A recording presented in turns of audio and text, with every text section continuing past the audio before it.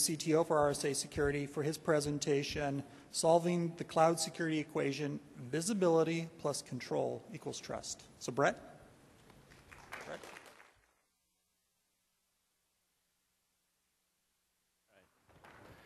Excellent. Good morning, everybody. And uh, on behalf of RSA, uh, welcome to the RSA conference. And also, happy Valentine's Day. Uh, yeah, I know, I know. Only security geeks would uh, set up uh, a conference on Valentine's Day. I apologize for those uh, complaints of spouses and significant others in the audience, so sorry about that. But that's the way it goes. Okay, let's see if I can operate this. Today I'm going to talk about trust in the cloud, sort of on the Valentine's theme, maybe. but uh, talk about some of the challenges around trust and uh, why we certainly think that's uh, such a huge uh, problem in the, in the uh, you know, area of, uh, of the cloud today. I think a lot of us have seen these sorts of surveys that are shown up here. There's a, here's a survey from Harris that shows that such a huge number of CIOs are concerned about security issues around cloud adoption and some Forrester uh, data as well. I mean, we've seen a bunch of these things. I think we all in this room especially know uh, what a huge challenge it is uh, around security in the cloud, and we there, there need, really needs to be ways to uh, overcome some of the issues with respect to trust. And um, what are those kinds of concerns uh, in terms of both from the standpoint of cloud customers, uh, you know, those enterprises, the different consumers that use those cl- cloud services, as well as the service providers themselves? Uh, we really view that trust falls into three main categories around uh, identity, information, and, and, infrastructure. They're all variations of the theme with respect to trust.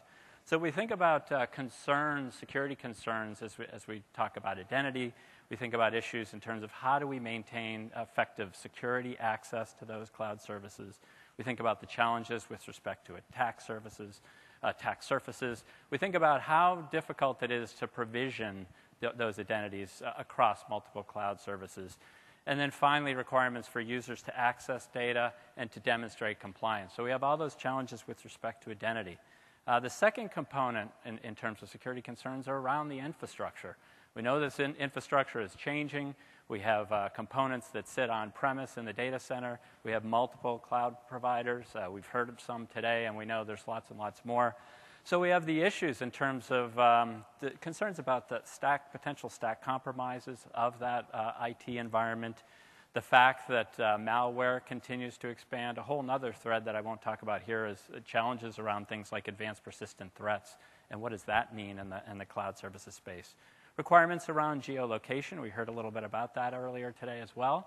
Uh, the fact that we want certain workloads to run in one place in the planet and not another. And then, uh, again, requirements around visibility uh, in those security controls for the infrastructure stack, uh, particularly as we think about virtualization.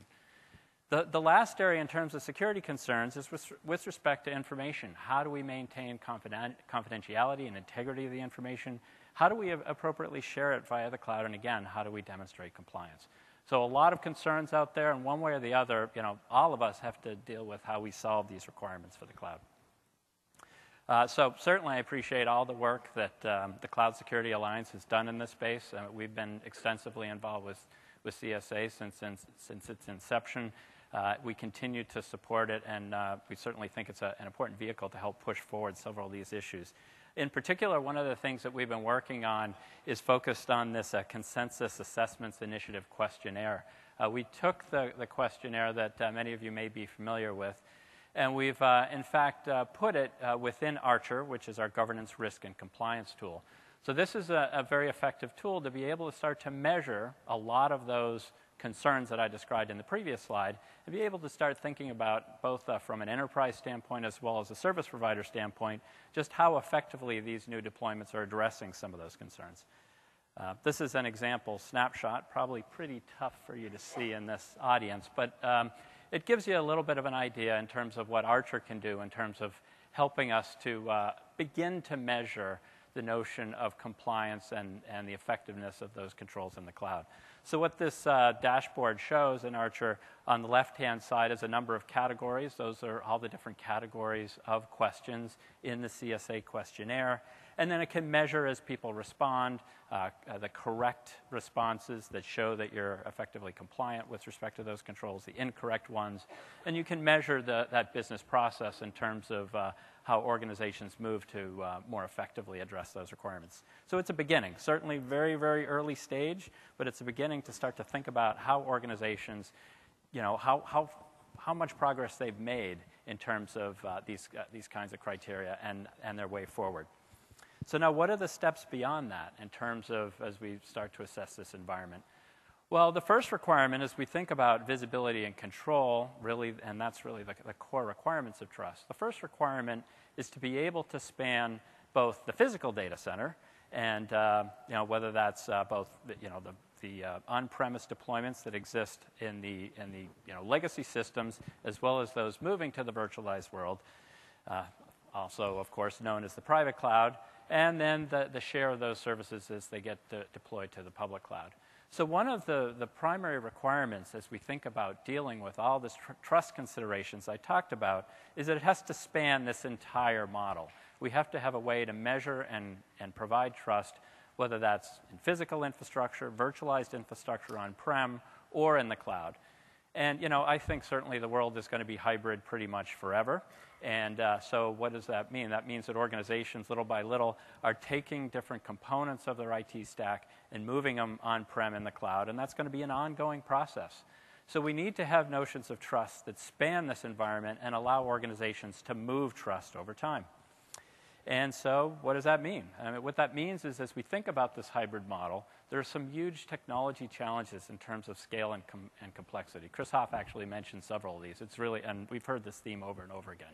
You know, as we think about these large systems, lots of different cloud service providers, you got some challenges around scale and complexity, and it's that scale and complexity, if anything, that's going to kill this whole approach. We have to be able to address these issues.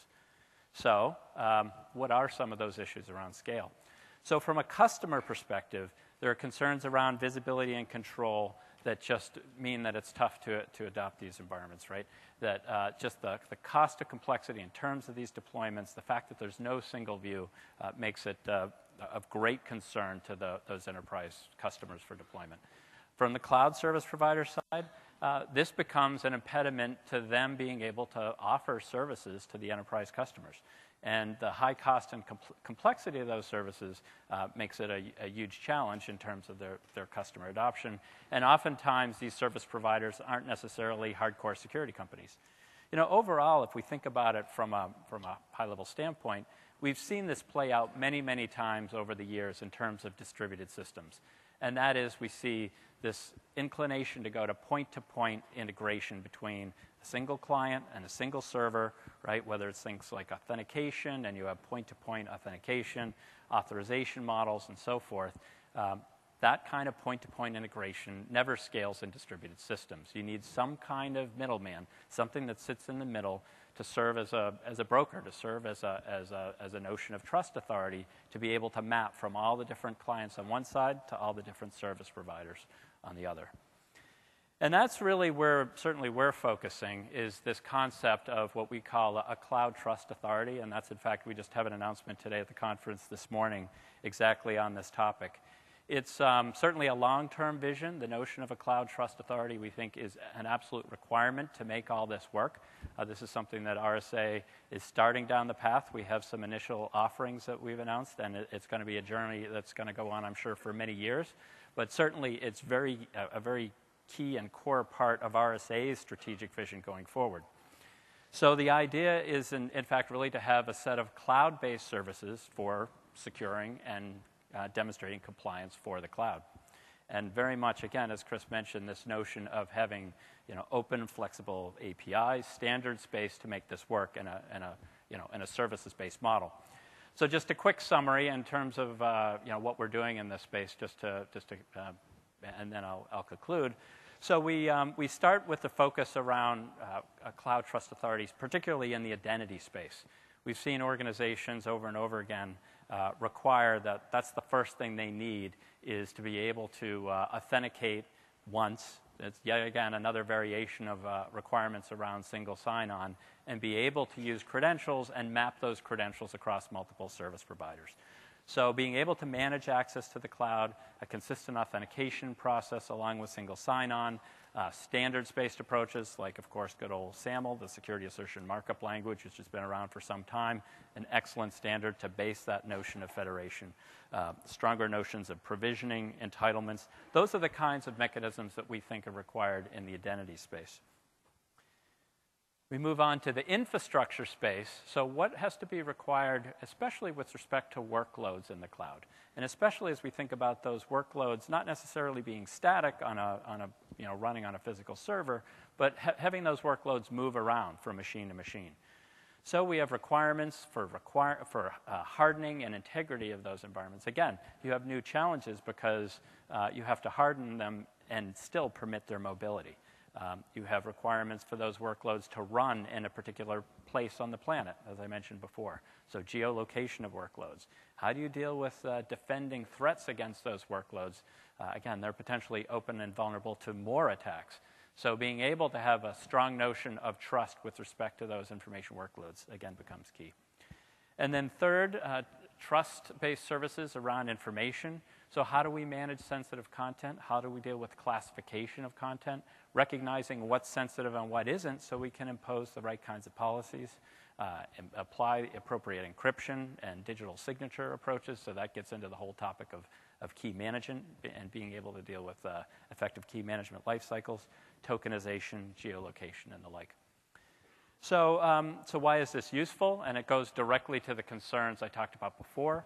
Uh, from a customer perspective, we think the primary thing is, is all around eliminating complexity if a, a, cloud trust authority existed or a set of these cloud trust authorities, it simplifies life for those end customers. They eliminate point to point integrations with all the different you know, individual service providers out there, and that cloud trust authority can serve as an authority to map across multiple uh, clients on one side and, and, servers on the other. Um, it also, the approach gives a, an umbrella view of exactly what trust means for an organization.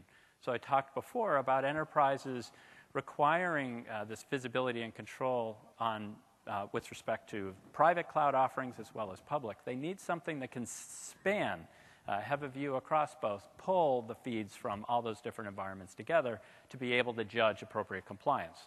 So we think such an offering gives ex- exactly that approach. And, and then finally, to be able to consistently manage that security across the environment.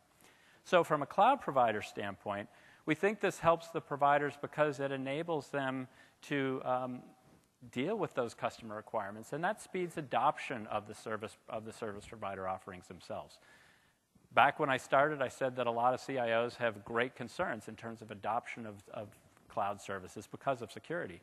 If those service providers do an effective job convincing enterprises that they're protecting information, that they're dealing with those compl- uh, compliance requirements, that's of course a good thing for service providers. It also eliminates, the, the approach eliminates, again, point to point integration so service providers can have more of a one stop shopping in terms of dealing with trust as opposed to having to go to every single tenant. And tenants may have different requirements for credentials and authentication and the like. And so, again, a, a, a common cl- cloud trust authority uh, makes this far simpler and reducing the overall burden with respect to security. So uh, this is a huge vision, and uh, it's not going to be solved by any one company, certainly, certainly not by RSA alone.